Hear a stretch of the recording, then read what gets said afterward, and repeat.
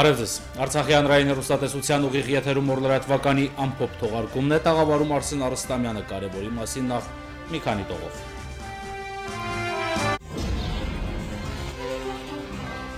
Հակառակորդը մեկ շաբաթվա ընթացքում հրադադարը խախտել է 1000 անգամ արձակել 15000 կրակոց։ Պաշտպանության բանակի առաջապահ զորամասերը շփման գծի ողջ երկայնքով վստահորեն իրականացնում են մարտական հերթապահություն կոչված են ծառայելու եւ ամեն գնով պաշտպանելու հայրենիքի անվտանգությունը։ Պաշտպանության բանակի շարքերը համալրվում են գաղափարակիր զինվորներով։ Երթման արարողություն բանակի զորամասերից մեկում։ Ավանդական խարույկ, երկ ու պար հյուրասիրություն, Տիարն ընթառաջ, տոնախմբություն Արցախի բոլոր անկյուններում։ Ստեփանակերտի Մայր տաճարի շինարարությանը մասնակցելու գաղափարը դպրոցականները ողջավորությամբ են ընդունել։ Դրամահավաքին մասնակցել են համար 1 դպրոցի 1500 աշակերտները եւ ուսուցիչները։ Նախ մեկ լուր պաշտոնական լրահոսից, որ ստացել ենք Արցախի հանրապետության նախագահի աշխատակազմի տեղեկատվության գլխավոր վարչությունից։ Նախագահ Բակո Սահակյանը ստորագրել է հրամանագիր, համաձայն որի Ջիվան Հարությունյանը լիազորությունների 6 տարի ժամկետով նշանակվել է Լեռնային Ղարաբաղի հանրապետության քաղաքացիական ծառայության խորհրդի նախագահի տեղակալ։ Նախագահի ստորագրած մեկ այլ հրամանագրով Մարատ Սարգսյանը նշանակվել է Արցախի հանրապետության քաղաքացիական ծառայության խորհրդի անդամ մինչև 2020 թվականի փետրվարի 14-ը պաշտոնավարման ժամկետով։ Այրենիքին անձնվիրաբար ծառայելու երթում հարազատների, հրամանատարների եւ զինակից ընկերների ներկայությամբ։ Այսօր Պաշտպանության բանակի հյուսիսային ուղությամբ տեղակայված զորամասերից մեկում տեղի է ունեցել զինվորական երթման հանդիսավոր արարողություն։ Լիրավ զինվորական դառնալու ճանապարհին սա պարտադիր արարողակարգ է, ասում են սպաները։ Նորակոչիկներն ավելացնում են, որ գիտակցաբար են մոտենում զինվորական երթման տեքստին ու այն ընթերցում կյանքի գնով կատարելու պատրաստակամությամբ։ Զինվորական շարանցում երկարսպասված հանդիպում եւ ծափողջուններ զինվորական կյանքում առաջին քայլերն անող երիտասարդներին։ Պաշտպանության բանակի հյուսիսային թևի զորամասերից մեկում զինվորական երթման հանդիսավոր արարողություն է։ Կարծես ավելի լավ է տրամադրվում ծառայությանը, արդեն հաստ զենքը ուսիդ հասկանում ես, որ արդեն ծառայության մեջ ես լիովին, արդեն պատկերացնում ես ցես դիրքում կանգնած, ինչպես ցանկացած հայ զինվոր։ Տրամադրած եմ լավ, եւ ուզում եմ ամեն ինչ անել որպեսզի ծնողներս եւ հայրենիքս հպարտանային ծնող։ Բոլորին ցանկանում եմ առողջություն, ամենակարևորը եւ հայրենասիրություն այն, որը որ մեր մեջ կա, միշտ այդեւ ուժեղ լինի եւ լիովին անցկացնեմ իմ ամբողջ ծառայությունը առանց որևէ թերությունների։ Ծնողները երկար ճանապարհ են կտրել եւ այսօր ներկա են իրենց ворթիների կյանքում հիշարժան պահին։ Նրանք այսօրվանից հայկական բանակի լիիրավ զինվորներ են։ Երթվում եմ անձնավիրաբար ծառայել հայրենիքին ու նրա համար չխնայել անգամ կյանքը։ Սա այն գաղափարն է, որով ապրում է հայ զինվորականը։ Միայն այս դեպքում է, երբ հայրենիքն ամեն ինչից թանկ է, որի համար հազարավոր ազատամարտիկներ հենց կյանքի գնով են վճարել։ Ձեր որդի զինվորներով զինված ուժերի շարքերը համալրելու համար շնորհավորում եմ մեզ մեր զինվոր որդիներով մեր զորամասի շարքերը համալրելու համար։ Անկամ մի վարկյան մենք կասկածելու առիթ չունենք, որ մենք ել ավելի ենք ուժեղացնելու մեր սահմանների պահպանությունը, սիրելի ծնողներ եւ պաշտպանությունը։ Իսկ պահպանել, պաշտպանել մենք կարող ենք միայն Եթե մենք պահպանենք, պաշտպանենք իրար։ Նորակոչիկների հարազատները փորձում են շարքում գտնել իրենց հերոսին։ Ասում են առաջին հայացքից դժվարանում են, հետո ծանոթ աչքեր ու դիմագծեր եւ երկարսպասված հանդիպում։ Էլմիրա Տատն օրինակ Թորանը երկար չի փնտրել, անգամ մոտեցելու միասին լուսանկարվել են։ 18 տարի հայրենասիրություն է սերմանել, չի կասկածում, որ Թորը պատվով է ծառայելու։ Շատ դաստիարակված, զինվորալինելու ես հույս ունեմ, որ ինքը կարդարացնի բոլորիս հույսերը եւ կպաշտպանի հայրենիքը։ Տիկին Կարինեն դեռ չի շտապում լուսանկարվել, փորձում է որդու զինվորական երթման պահն անմահացնել, բայց արդեն հասցրել է եւ հուզվել եւ արտասվել ուրախությունից։ Իրան դրսեւորի որպես տղամարդ, որպես քաջարի զինվոր, հայրենիքի պաշտպան, առաջին հերթին հայրենիքին թող պաշտպանի, նոր ծնողների մասին մտածի։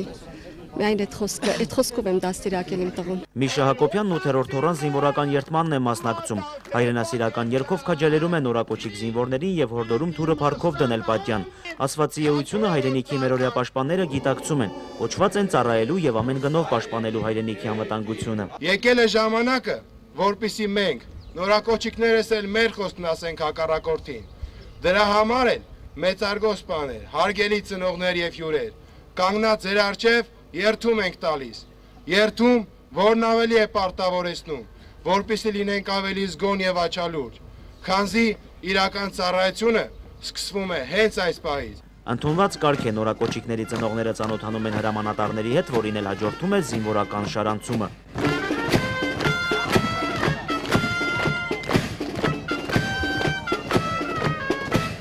Նարեկ Սահակյան, Հովիկ Արաքելյան, օր Պաշտպանության բանակի օպերատիվ տվյալների համաձայն փետրվարի 8-ից 14-ն ընկած ժամանակահատվածում Ղարաբաղի ադրբեջանական հակամարտ զորքերի շփման գծում հակառակորդի կողմից հրադադարի պահպանման ռեժիմը խախտվել է ավելի քան 1000 անգամ, որի ընթացքում տարբեր դրամաչափի հրաձգային զինատեսակներից հայ դիրքապահների ուղղությամբ արձակվել է շուրջ 15000 գրակոց։ Պաշտպանության բանակի առաջապահ զորամասերը շփման գծի ողջ երկայնքով վստահորեն իրականացրել են մարտական հերթապահություն, անհրաժեշտության դեպքում դիմելով նաև համապատասխան գործողությունների, հայտնել են մեր երկրի ռազմական գերատեսչության մամուլի ծառայությունից։ Նույն աղբյուրից ստացված մեկ այլ տեղեկատվության համաձայն այսօր ժամը 4:40-ի սահմաններում Պաշտպանության բանակի հյուսիսարևելյան ուղղությամբ տեղակայված զորամասերից մեկի պահպանության տեղամասի մարտական հնագետում մահացու հրազենային վիրավորում է ստացել զինծառայող 1995 թվականին ծնված Արման Սերգեյ Օսիպյանը։ Դեպքի մանրամասները բարձելու համար կատարվում է քննություն։ Արցախի հանրապետության պաշտպանության նախարարությունը կիսում է կորստյան ցաներ վիշտը եւ իր զորակցությունը հայտնում զոհված ինձարայողի ընտանիքի անդամներին, հարազատներին եւ ծառայակիցներին։ Կան մարդիկ, ովքեր պայքարով ու արյունով գծում են սահմաններ, կերտում սեփական ժողովրդի պատմությունը։ 21 տարի առաջ այսօրը Օմարի բարձունքում նահատակվեց Արցախի հերոս ոսկե արծիվ շքանշանի ասպետ Պետրոս Ղևոնդյանը անել առավելագույնը հայրենիքի ազատության համար նվիրաբերելով ամենաթանկը կյանքը։ Արցախյան ազատամարտում պայքարած շատերի պես Պետրոս Ղևոնդյանն էլ պայքարեց գիտակցաբար գնալով պատերազմ առանց ավելորդ խոսքերի ու տրտունջների։ Այսօր էլ նրան հիշում են շատերը, մարտական ու գաղափարակից ընկերներից մինչև նրան երբեք չճանաչած, սակայն սխրանքների մասին լսած հազարավոր մեր հայրենակիցներ։ Շուշիի առանձնակի գումարտակի փոխհրամանատար Պետրոս Ղևոնդյանի կամ ինչպես ընկերներն էին ասում Պրոշյանցի պետոյի նահատակության օրը, հենց Պրոշյանում նրա մասին խոսել են մարտական ընկերները։ Ինքը համասարան էր սովորում ռադիոֆիզիկայի ֆակուլտետ։ Առանձնակի հետաքրքրություններն էր այս ասպարեզի նկատմամբ։ Բայց պատերազմը կիսատ թողեց։ Պետրոս Ղևոնդյանը թե գումարտակի խիղճն էր, թե գաղափարը, թե ուժը եւ թե ողնաշարը։ Պետրոս Ղևոնդյանը իր անձնական օրինակով դասյարակում էր տղերքին։ Պետոն իմ համար անձամբ թե որպես հրամանատար, թե որպես մարտական ընկեր, թե որպես մարդ Պետոն իմ համար իդեալ է։ Նման հայրենասեր, նման նվիրված մարդ ես կարող եմ ասել, որ չէի տեսել ու չեմ տեսել։ Օպերացիան եթե առաջնորդում է, եթե հրամանատարություն ինքն է, ուրեմն 100%-ով մենք համոզված ենք, որ հաջողություն լինելու է։ Ու ես չեմ հիշում դեպք, որ իր հրամանատարության, նույնիսկ ասեն գումարտակը միշտ լավ գործողություններ արել, բայց պետոյի հրամանատարության տակ ես չեմ հիշում դեպք, որ մի թեթև շեղում լինի։ Բավականին լավ կազմակերպված էր լինում, այսօր պետոն գրագետ զինվորական էր։ Բացի դրանից նաև պետոն ինքնակրթությամբ էր զբաղվում որպես զինվորակ։ Պետոն ասեմ, բացի կարելի ասել հայրը, կարելի ասել աղներ, սերներ, միանստության մի հատ չգիտեմ, ամեն ինչ էր պետք մեր համար։ Նաև երկրորդ ծնող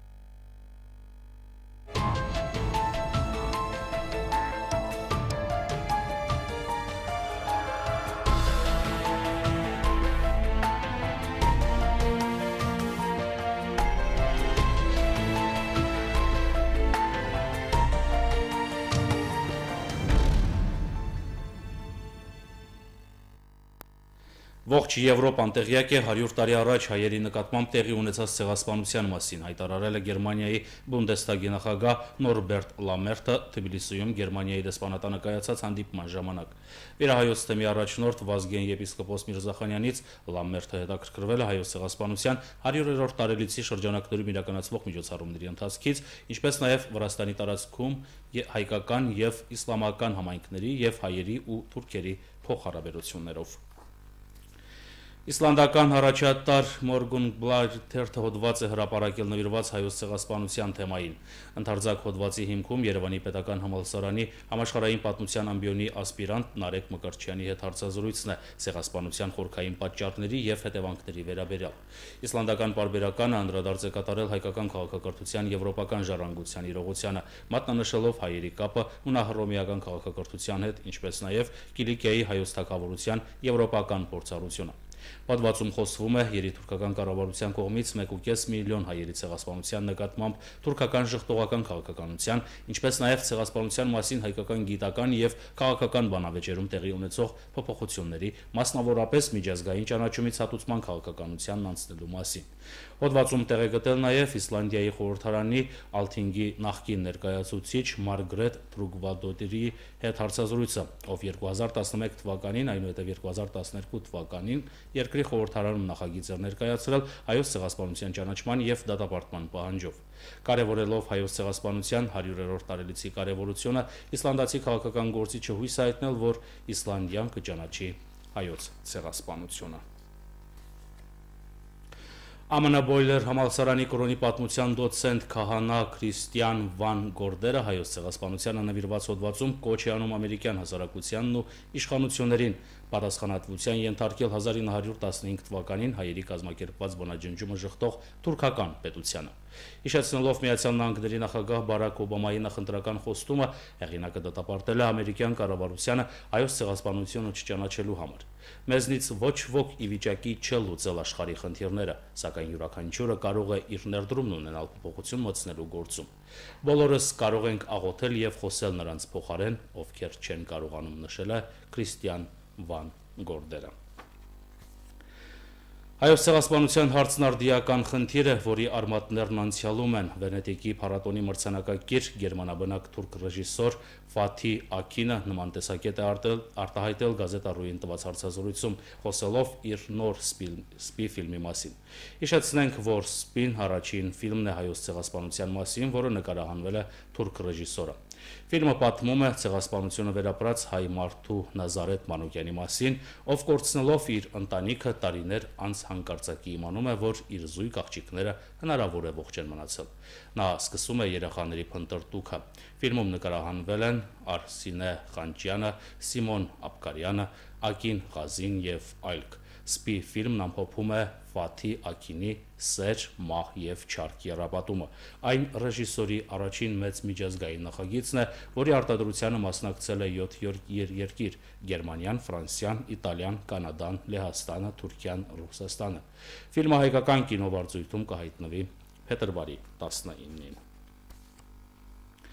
Թուրքիայում տպագրվել է նոր գիրք, որը պատմում է 1909-ին Ադանայում սկսված, ապա Քիլիսում ու Զեյթունում շարունակված 20000-ից ավելի հայերի կոտորածների մասին։ Թուրք ընթերցողներն այժմ հնարավորություն ունեն ցանոթանալու այդ ջարդերը վերապրածների հուշերին։ Արի Շեքերյանի կողմից օսմաներենից թարգմանված 1909-ի Ադանայի ջարդերը երեք զեկույց գրքում ներկայացված է Օսմանյան կայսրությունում եւ ողջ աշխարհում քննարկման առարկա դառնալուց անմիջապես հետո պատրաստված 3 կարևոր զեկույց։ Գրքում նաեւ 40-ից ավելի Ադանայում արված լուսանկար կա։ Նախաբանը գրել է թուրք պատմաբան Թաներ Ակչամը։ Կարապետ Չալյանի, Արթին Ասլանյանի եւ Հակոբ Պապիկյանի զեկույցները դեպքից 106 տարի անց առաջին անգամ ներկայացվում են թուրքերենով։ Իսկ Ստրասբուրգում կայացել է թուրք սոցիոլոգ, ֆեմինիստ եւ գրող Փնար Սելեքի որովհետև հայ են գրքի շնորհանդեսը հաղորդում է թուրքական դողան լրատվական գործակալությունը 90 էջանոց եւ 10 եվրո արժողությամբ գիրքը պատմում է հայոց ցեղասպանության քրդական հարցի երկխոսության, ինչպես նաեւ թուրք ազգայնականության շրջանակներում հայերի ընկալման մասին։ Ուրուգվայի հանրային կրթության ազգային վարչության կենտրոնական խորհուրդը հատուկ հետաքրքրության թեմա է հայտարարել 20-րդ դարի առաջին Օսմանյան կայսրությունում իրականացված հայոց ցեղասպանությունը։ Ինչպես տեղեկանում ենք Ուրուգվայի հանրային կրթության ազգային վարչության պաշտոնական կայքից, որոշումն ընդունվել է 2015-ի փետրվարի 3-ին հայոց ցեղասպանության զոհերի ողջակոչման հանձնաժողովի ներկայացրած միջնորդության համաձայն, որը պահանջում է հատուկ հետաքրքրության թեմա հրճակել եւ ներառել այն 2015 թվականի ուսումնական سلامكم.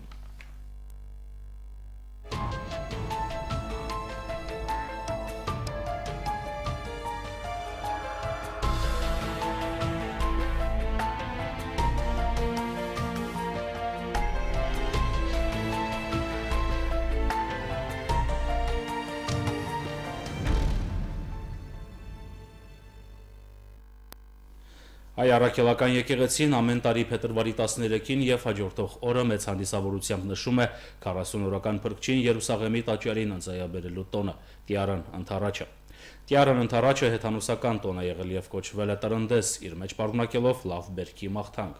Երբ Հայաստանը քրիստոնեություն ընդունեց, փոխվեց նաև տոնի անվանումն ու էությունը։ Տոնի գլխավոր մասնակիցները դարձան պատանիներն ու աղջիկները, նորապսակները կամ նրանք, ովքեր պատրաստվում են ամուսնանալ։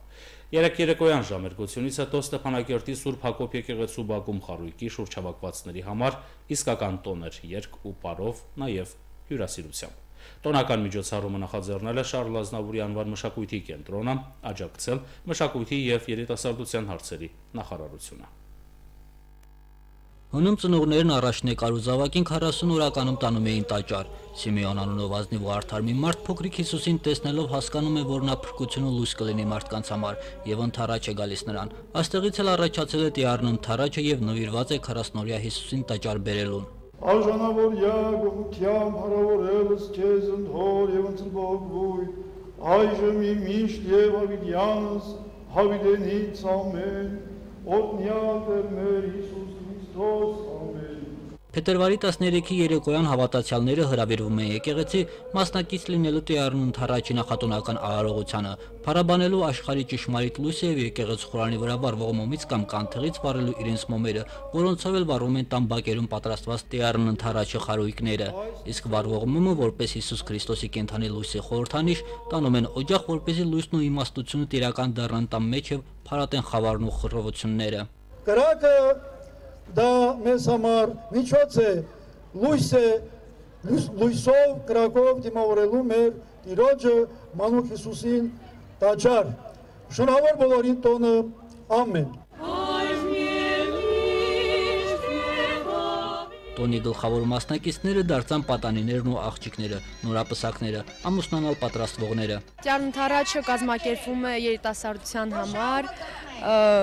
որպեսզի նրանց կյանք ավելի ուրախ ու երջանիկ անցնի։ Տոնի գլխավոր խորհրդանիշերից է խարույկը, որի վրայով ցատկում են սիրահարված զույգերը։ Համարվում է, որ եթե նրանք կարողանան ցատկել առանց ձեռքերը բաժանելու, ապա ընտանիքն ամուր կլինի, իսկ սերը հավերժ։ Սա ուղղակի լույսի խորհրդանիշ է, որ ուղղակի մեր եկեղեցի մեր որպես հին արմատներ ազգայինը պահելու մի երևույթ է։ Մենք պետք է ճիշտ հասկանանք, որ կրակը սա զուտ կրակ է, այլ ոչ թե ինչ որ նախքին Աստծո տեղ դնենք կամ ինչ որ հավատքի կամ սրտի մուրացի հետ կապենք։ Աստծո տված այդ խորհուրդներից մեկն է, տարերկներից մեկն է։ Եվ ինչու պետք է մենք վախենանք դրանից, թե ինչ ինչ դա ինչ որ հեթանոսական տոն Նախաքրիստոնեական ժամանակներից մնացած սովորություն է, որ մանավանդ նորապսակ հարցերը ցածկին կրակի վրայով մակրագործվելու եւ սպասվելիք երեխայի ծնունդը նվիրագործելու համար։ Ավանդության համաձայն է դա կատարում, թրջելը դա այդ ավելի շատ սիմվոլիկ խորհուրդ ունի, քան թե ինչ որ հոգեվոր խորհուրդ։ Բայց դա իմ կարծիքով մենք ոչ միայն պետք է պահպանենք, այլ պիտի տանք ավելի լավ երանք, ավելի ողջևորված, օգտակար է մեր ազգին, ազգային ավանդույթները պահպանելու համար։ Շատ վայրերում խարույկ վարելու պատվավոր իրավունքը պատկանում է տոնին նախորդող 1 տարվա ընթացքում ամուսնացած զույգին։ Ժողովուրդը հավաքվում է խարույկի շուրջ, իսկ նորապսակ զույգերը երիտասարդ աղջիկներն ու տղաները ցատկում են խարույկի վրայով։ Ես մի քիչ դեմ եմ դրան, Կարելի է լույս վերցնել խարույկից, բայց չի կարելի այնտեղ նետել թղթեր, որտեղ գրված են երազանքներ։ Ես գտնում եմ, որ դա անիմաստ է։ Սուրբ Հակոբ եկեղեցու Բաքում կազմակերպված Տիառն ընթառաջի տոնակատարության շրջանակներում տեղի են ունեցել խաղմրցույթներ, ազգային երկուպար, նորապսակ զուգերը ստացել են նվերներ, բաժանվել է նաև ավանդական հայկական գաթա եւ աղանց։ Գենադի Երեմյան, Հովիկ Արաքելյան, օր Երեք մեծ ողջավորությամբ տիրոջն ընթരാճ են գնացել նաև շրջկենտրոններում եւ գյուղական բնակավայրերում։ Մարտունիում օրինակ տոնն անցել է բարձր տրամադրությամբ։ Կենտրոնական հրապարակում ավանդական խարույկներ եւ ազգային ճաշատեքսակներով հյուրասիրությունը։ Մարտունու Սուրբ Ներսես մեծ եկեղեցում ժամերգությունից ու տիրոջ օրհնություն հայցելուց հետո հոգևոր դասը երիտասարդների ուղեկցությամբ վառում է կրակը։ Տիարն Թարաչի թերևս ամենասպասված միջոցառման մեկնարկը տրվում է հետաքրքիր մտահղացմամբ։ Զինվորականին ու հոգևորականին կրկին միավորում է նույն գաղափարը։ Մենք դեռ փոքրուց մի սիրել ենք հատություն, ինչ էլ որ լինի չենք հանդուրժի հորտություն Կրակը բորբոքվում ու երիտասարդների կրքերն է բորբոքում։ Ազգային երաժշտության բարձր հնչյուններն էլ լրացուցիչ ողջավորություն ու տրամադրության նոր լիցք են հաղորդում։ Տիարն Թարաչի տոնը ազգային արարողություններով համեմված տոն է, ինչը ինչի մենք այսօր ականատես ենք Մարտունի քաղաքում, թե ինչպես Հավուր Պարշաչի նշում ենք եւ այս ընդհանրապես կրակը ջերմությունը ընդհանրապես օջախը մեր հայ ազգային սրբություններից մեկն է, հասկացողություններից մեկն է եւ այսօր հավաքված մեկ մեծ կրակի մեծ օջախի շուրջ բոլորս փորձում ենք ուրեմն տակածնել մեր մարմինը եւ նաեւ անտեսանելի կերպով ջերմացնել միմյանց հոգիները։ Մարտունեցիների հետ կրակի շուրջ համախմբվելու շուրջ պարեն բռնել նաեւ երիտասարդներ մայրաքաղաքից ու շրջաններից։ Տրնդեզը միասին ու նման ցավալով անցկացնելու նախաձեռնությունը Արցախի ժողովրդավարական կուսակցության Մարտունու շրջանային կառույցի երիտասարդական թևինն է։ Ներկայացել են մեր համակիրները Ստեփանակերտի, Մարտակերտի, Ասկայանի շրջանից միասին կազմակերպելու այս միջոցառումը միջոցառումը ընթանում է աշխուժ խանդավառությամբ տոնում ենք այս տոնը քանի որ այն լույսի հույսի հավատի ու միասնության տոն է։ Ազգային տոնը նշելու հետաքրքիր նախաձեռնություն ուներ Մարտունու շրջվարչակազմի մշակույթի բաժինը։ Ընթառաջ Աստծո, ընթառաջ Սիրո ընտանիքներով է անցնում հավերժի ճանապարհը։ Այս խորագիրը մի հարկի տակ էր հավաքել զույգերի, ովքեր նշում են համատեղ ամուսնության հոբելյանական տարին։ Մշակույթի վաստակաշատ աշխատող Բաբկե Մուսալյանն արդեն անցել է Սիրո եւ նվիրումի 50-ամյա ճանապարհ։ Եթե ընտանիքում կա սեր, ընտանիքում կա երջանկություն, ընտանիքում կա հավատ, ապա այն էլ պետք է կատարի յուրաքանչյուր ընտանիքում։ Երիտասարդները, ովքեր ընտանիքի մասին սեփական պատկերացումները դեռ հղկում են, դեռ առաջի տոնակատարության իրական հերոսներն են ցածկել կրակի վրայով, ճաշակել ազգային խոհանոցի կորկոտն ու աղանձը, նռան հյութը եւ իհարկե շուշպար բռնել սահմանապահ զինվորի հետ։ Մենք խաչապատ ժողովուրդ ենք եւ մեր խաչը երբ խնդիր ենք ունեցել, կարողացել ենք թեքել եւ սուր սարքել եւ այդ սուրը առաջին հերթին եղել է մեր զինվորի ձեռքին։ Եվ այսօր ինչպես տեսնում ենք, մեր զինվորը ոչ միայն սուր է կրում, այլ կրում է նաեւ խաչը։ Կրում է երիտասարդ ոգու այն պորտկումը, որը այսօր տեսնում ենք Մարտունի քաղաքում։ Ավելի է հետաքրքրանում, ավելի աշխուժություն մտնում։ Առաջնագծում բոլորս է շատ ամուր ենք էլի կայնած։ Մեր ազնագազմով եկել ենք այսօր ուրախանանք զինվորեն ծառայությունից ինչ որ մի պա շեղվեն, կտրվեն։ Որսս տոները ավելի շատ ալնում, ծառայությունից ամել կտրվում ենք, ավելի հեշտ անցնում։ Նաև զինվորը գալիս է մարկանց հետ շփվում, իմանում է ինքը ում է պաշտպանում։ Արդեն ինքը իր վրա հպարտ ինչ որտեղ պատասխանատվություն ազգում, որ իր հետևը այսձև սերունդ կա, պիտի ինքը այդ սերունդը պաշտպանի։ Սամվել Բալայան, Մերժա Մարտիրոսյան, օր Տիարան ընթարաչի օրը նորապասակների օրտնությանը նվիրված տոնական միջոցառում է տեղի ունեցել նաև Բերձորի Սուրբ Համբարձման եկեղեցում։ Քաշաթաղի հոգևոր հովիվ Աթանաս Վարդապետի օրտնանքն են ստացել շրջանի մի շարք բնակավայրերի տասնյակ երիտասարդներ։ Մինչ նորապսակների օրհնությունը եկեղեցու Բաքում իրենց ելույթներով նորապսակներին եւ ներկաներին ողջունել են դպրոցականներ Քաշաթաղի շրջանի տարբեր համայնքներից։ Միջոցառումն միջոցառումը կազմակերպվել էր շրջվարչակազմի աշխատակազմի մշակույթի եւ երիտասարդության հարցերի բաժնի կողմից։ Վաղը հայ առաքելական Սուրբ եկեղեցին տոնակատարելու է բուն բարեկենթանը, որը նախորդում է ամենաերկար պահքին։ Սովորաբար բարեկենթան է կոչվում շաբաթապահքերի եւ մեծ պահքի նախընթաց օրը։ Բարեկենթանին թույլատրվում են չափավոր վայելքներ, խրախճանքներ, խաղեր եւ ուտեստներ։ Բարեկենթան բառացի նշանակում է կենթանություն, բարի կյանք։ Քահանա AM կայքի տեղեկացմամբ մեծ պահքի բարեկենթանը կոչվում է բուն բարեկենթան, քանի որ նախորդում է ամենաերկար պահքին։ Բարեկենթանը մարդու երջանկության հիշատակն է, որը դրախտում վայելում էին Ադամն ու Եվան։ Այն նաև դրախտային կենքի օրինակն է, որտեղ մարդուն արտոնված էր ճաշակել բոլոր պտուղները բացառությամբ բարու եւ չարի գիտության ծառի պտղից, որը պահքի խորհրդանիշն է։ Բարեկենթանն առաքինությունների արտահայտություն է։ Այդ օրը մարդիկ սքից անցնում են ուրախության, չարչարանքից խաղաղության։ Այս ընկալմամբ է, որ յուրաքանչյուր քրիստոնյա հոգու խոնարհումով, ապաշխարությամբ, պահքով եւ ողորմությամբ հույսով սկսում է մեծ պահքի 40-օրյա ճանապարհը։ Այն տևում է 48 օր, բուն բարեկենթանից մինչև Սուրբ Հարություն, Հարության Զատկի տոն։ 40-օրյա պահքին հաջորդում է պահոց եւս մեկ շաբաթյա շրջան, ավակ շաբաթը։ Այդ այդ է պատճառը, որ 40-օրյա կոչվող պահքը 48 օր է տևում։ Ստեփանակերտի մայրտաճարի շինարարությունը շարունակվում է։ սանտիմետր առ սանտիմետր բարձրանում է Աստծո տունը եւ դրանում իրենց ներդրումն ունեն Արցախի բնակիչներից շատերը, անկախ տարիքից ու զբաղմունքից։ Այսօր իմ գործընկերները դրա հերթական օրինակին են ականատես եղել։ Այս անգամ Ստեփանակերտի Խաչատուր Աբովյանի անվան համար 1 դպրոցում։ Համար 1 դպրոցի աշակերտական խորհրդի անդամներն են անսովոր լուրջ տեսքով անսովոր գործի են փող են հաշվում 10 դրամանոց մետաղադրամներից մինչև 20000 դրամանոց թղթադրամները խնամքով առանձնացված դասավորված են աշակերտական կոմիտեի նախագահը գախնիկն է բացում Մենք հերոստատեսությամբ լսեցինք Պարքև Սրբազանի խոսքեր այն մասին, որ քաղաքում նորակառույց եկեղեցու շինությունը ավարտելու համար անհրաժեշտ է գումարներ Եկեղեցու շինարարությանը մասնակցելու գաղափարը դպրոցականները ողջավորությամբ են ընդունել։ Յուրաքանչյուրը դա կարող է իր չափով իրականացնել, սկսած 100 դրամից։ Մենք բոլորս գիտենք, որ եկեղեցին եկեղեցին մեր տունն է, եկեղեց եւ մենք սիրով գումար ենք հավաքել եկեղեցի շինարարության համար։ Գաղափարը կյանքի կոչելու համար ամենակարճ ճանապարհն են ընտրել կազմակերպչական աշխատանքներին մասնակցել են աշակերտական կոմիտեի բոլոր անդամները։ Դասարաններին հայտարարել ենք, դասարանների ավակները դրամը հավաքել են, հետո արդեն աշակերտական կոմիտեի անդամները դասարաններով եկել են եւ հավաքել են այդ դրամը։ Դրամահավաքին մասնակցել են դպրոցի բոլոր 1500 աշակերտները եւ ուսուցիչները։ Աշակերտական կոմիտեի նախագահը իմի է բերում մոտ 2 շաբաթ տևած դրամահավաքի արդյունքները։ Ընդհանուր առմամբ հավաքվեց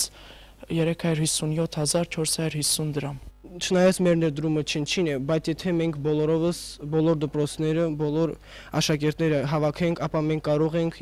նպաստել եկեղեցու